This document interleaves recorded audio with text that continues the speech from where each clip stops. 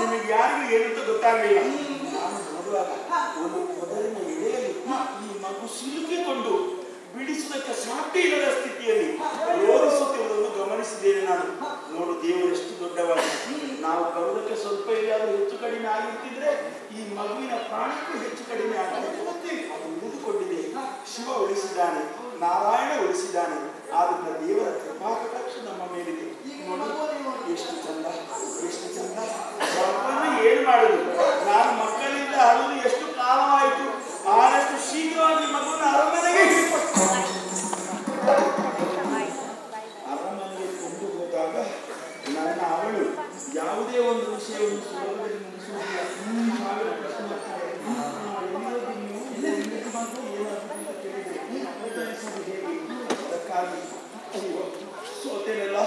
ನಿಧಿ ಸಿಕ್ಕಿತು ಮತ್ತು ಸಂಶಯ ಕೇಳಿ ಆಯ್ತಲ್ಲ? ಈ ಮಗುವನ್ನು ಕಾಪಾಡೋಕೆ ಯಾರನ್ನು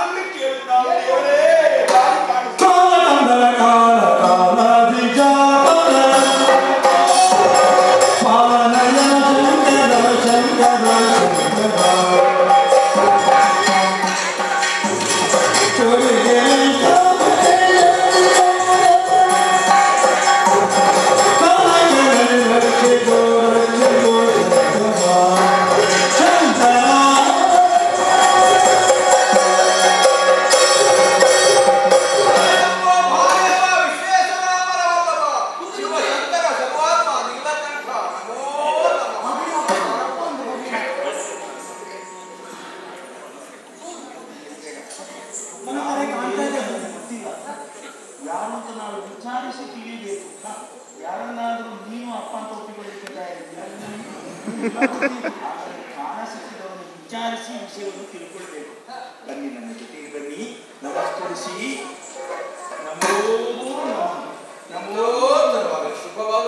ಸ್ವಾಮಿ ಇದು ಅರಮನೆ ಅಲ್ಲ ಕಾಡು ಪ್ರದೇಶ. ಆದ್ರೂ ಕಾಡು ಪ್ರದೇಶದಲ್ಲಿ ಉಪಚರಿಸುವುದು ಹೇಗೆ ಅಂತ ಹೇಳುವಾಗ ದೇವರು ಕೊಟ್ಟ ಬುದ್ಧಿಯಿಂದ ನೋಡಿ ಎತ್ತರಕ್ಕೆ ನಿಂತು ನಿಂತಿರುವಂತಹ ಬೇರು ಕಾಣಿಸ್ತಾ ತಮ್ಮ ಆಸನವಾದೀತು ಅಂತ ನಾನು ಆಶಿಸ್ತೇನೆ ಪ್ರಕೃತಿಯಲ್ಲಿ ದೋಷ ಏನು ಹುಡುಕುವುದಕ್ಕಿಲ್ವಲ್ಲ ಅದನ್ನು ಮಾಡಿಸಿ ದಯಮಾಡಿಸಿ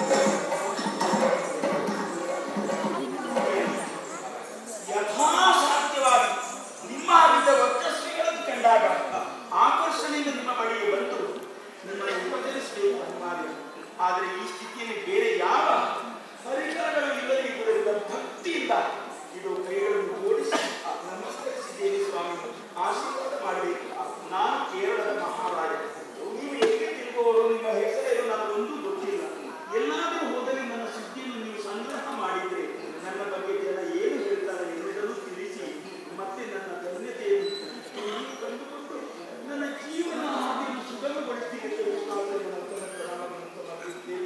ತಾವ್ಯಾವ ಸ್ವಾಮಿ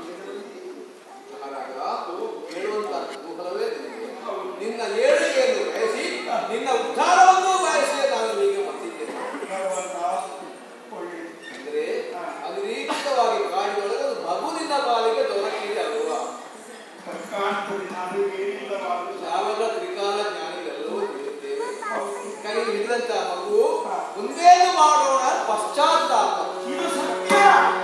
ಹೇಳುವಪ್ಪ.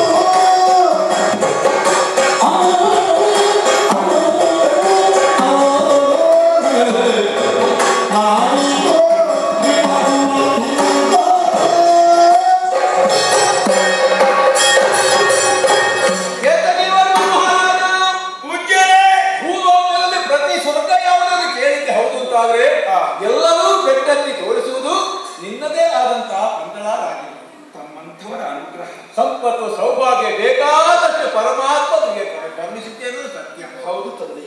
ಆದರೂ ಓ ಮನಸ್ಸಲ್ಲಿ ಒಂದು ಬೇಸರವೇ ನಿಮಗೆ ಸತ್ಯ ಸ್ವಾಮಿ. ಯಾವ ತಂದೆಗೆ ಆಗಲಿ ಯಾವ ಅರಸನಿಗೆ ಆಗಲಿ ಮಕ್ಕಳಾಗಬೇಕು ಆ ಮಗುವಿನ ಬಾಯಿಯಿಂದ ಅಪ್ಪ ಅಂತ ಕರೆಸಿಕೊಳ್ಳಬೇಕೆಂಬಂತ ಮನಸ್ಸಾಗುತ್ತದೆ ಅದು ಒಂದು.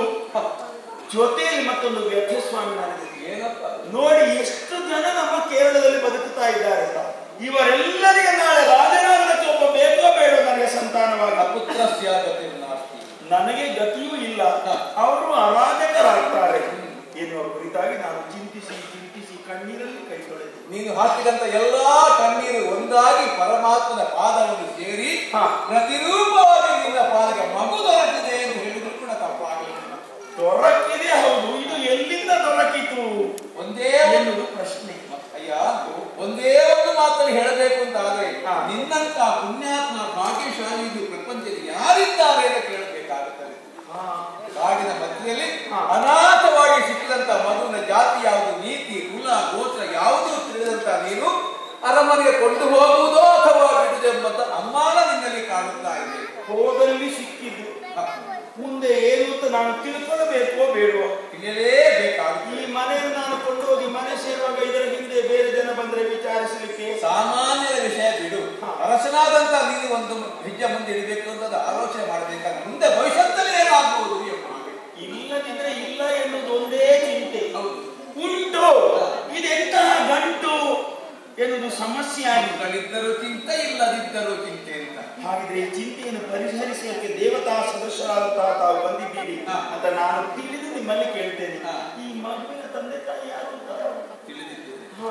ಸಾಮಾನ್ಯ ಮಗು ಅಲ್ಲ ಇದು ಹರಿ ಹರರು ಒಂದಾಗಿ ಅವರಿಂದ ಹುಟ್ಟಿದಂತ ಮಗುವೇ ಇದಾಗಿದೆ ಶಿವನೇ ನಾರಾಯಣ ಹರಿಹರ ಇವರು ಪ್ರಪಂಚದ ರಕ್ಷಣೆಗಿರುವಂತಹ ಮೂರ್ತಿಗಳು ಮೂರು ಮೂರ್ತಿಗಳಲ್ಲಿ ಇವರು ಎರಡು ಮೂರ್ತಿಗಳು ಹೌದು. ಅವರಿಬ್ಬರು ಒಂದಾಗಿ ಅದರಿಂದ ಉದ್ಭವವಾದಂತಹ ಇದು ನನಗೆ ಆ ದೇವರು ಈ ದೇವರು ಅಂತ ಭೇದ ಇಲ್ಲ ಸ್ವಾಮಿ. ನಾನು ಮಾತ್ರ ಅಲ್ಲ ನಮ್ಮ ಕೇರಳದಲ್ಲಿ ಎಲ್ಲರೂ ಹಾಗೆ. ನಾನು ತೋರಿಸಿಕೊಟ್ಟಂತಹ ದಾರಿ ಯಾವುದಿದೆ ಅದನ್ನೇ ತುಳಿಯುವುದು ಅಭ್ಯಾಸವಾಗಿದ್ದೇವೆ ಆದ್ರಿಂದ ಎರಡು ದೇವರನ್ನು ಪೂಜಿಸ್ತೇವೆ. ಆರಾಧಿಸ್ತೇವೆ ಒಂದಾಗಿ ಹುಟ್ಟಿದಂತ ಮಗು ಇದು. ಹಾಗಾದ ಮಗು ಹೆಸರು ಹೇಗೆ ಎಂದು ಆಲೋಚನೆ ಮಾಡಬೇಕಾದಂತ ಅಗತ್ಯವಿಲ್ಲ. ಹರಿಹರರು ಒಂದಾಗಿ ಹುಟ್ಟಿದಂತ ಮಗುವಿಗೆ ಹರಿಹರ ಕಾಡಿನಲ್ಲಿ ಹರಿಹರರ ಅನುಗ್ರಹದಿಂದ ಸಿಕ್ಕಿದಂತಹ ಮಗುವಿನ ಹೆಸರು ಹರಿಹರ. ಹರಿಹರ. ವ್ಯತ್ಯಾಸವನ್ನು ಕಾಣದೆ ಭೇದವನ್ನು ಇರಿಸದೆ ಆರಾಧಿಸಿದಂತಹ ನಾನು ಇನ್ನು ಮುಂದಕ್ಕೂ ಎರಡು ದೇವರುಗಳನ್ನು ಒಟ್ಟಿಗೆ ಕರೆದ ಹಾಗಾಗ್ತದೆ. ಈ ಮಗುವಿನ ಹೆಸರಿನ ಕಾರಣದಿಂದ. ಅಲ್ಲವೇ? ಮಾತ್ರವಲ್ಲ. ಈ ಮಗುವನ್ನು ಕೊಂಡೋಗಿ ಸಾಕಿದ್ದು ಹೌದು ಅಂತಾದ್ರೆ ಆದ್ರೆ ಈ ಮಗುವಿಗೆ ಹದಿನಾರು ವರ್ಷ ಕಳೆದಾಗ. ಈ ಮಗುವಿನ ಪ್ರಭಾವ ಏನೆಂಬುದು ರಹಸ್ಯವಾಗಿ ಹೆಚ್ಚು ಕಾಲ ಇಡೋಕ್ಕಾಗುವುದಿಲ್ಲ ಸ್ವಾಮಿ. ಹದಿನಾರು ವರ್ಷ ಅಂದ್ರೆ ಕೇವಲ ಬಾಲ್ಯವನ್ನು ಕಳೆದ ಯೌವನದ ಮೆಟ್ಟಲನ್ನು ಹತ್ತುವಂತಹ ಸಮಯ. ಅಷ್ಟೊತ್ತಿಗೆ ಸಂಬಂಧ ಇತ್ಯಾದಿಗಳು ಬರತೊಡಗುತ್ತವೆ ನಮ್ಮ ಮನೆಗೆ ನೆಂಟರು ಬರ್ತಾರೆ. ನಿಮ್ಮ ಇಷ್ಟ ಎಷ್ಟಾಗಿರ್ತಾರೆ ಅಂತ ಕೇಳಿದ್ರೆ ನಾವು ಹೇಳಬೇಕು ಬೇಡ ಹಾಗಾದ್ರೆ ಹದಿನಾರು ವರ್ಷ ನನಗೆ ತುಂಬುವಾಗ ಅವರು ಯಾವ ಪ್ರಶ್ನೆಯನ್ನು ಕೇಳಿದ್ರು ನಿರರ್ಗಳವಾಗಿ ನಾನು. ದೇವರು ಕೊಡ್ತಾರೆ. ಸಂಬಂಧ ಇದೆ. ಯಾವುದು? ಪ್ರಪಂಚದ ಮಾನವರು ಎಲ್ಲರೂ ಈತನಿಗೆ ಸಂಬಂಧಿಕರಾಗುತ್ತಾರೆ ಹಾಗಾದ್ರೆ ಬೇರೆ ಯಾರು ಬಂದು ಇದು ನನ್ನ ಮಗು ಕೊಡು. ಅಂತ ಹೆದರಿಸುವುದಕ್ಕೆ ಇಲ್ಲ ತಪ್ಪು ಇಲ್ಲ. ಇಲ್ಲ. ಸ್ವಾಮಿ ಈಗಲೇ ನಿಮ್ಮನ್ನು ಆಮಂತ್ರಿಸುವುದಿಲ್ಲ ನಾಳೆ ಈ ಮಗುವಿನ ಒಳ್ಳೆಯ ದಿನಗಳು ಕೂಡಿ ಬರುವಾಗ ಎಲ್ಲಾ ಕಾರ್ಯಕ್ರಮಗಳು ನಿಮ್ಮ ಮುಂಭಾಗದಲ್ಲಿ ಆಗಬೇಕು.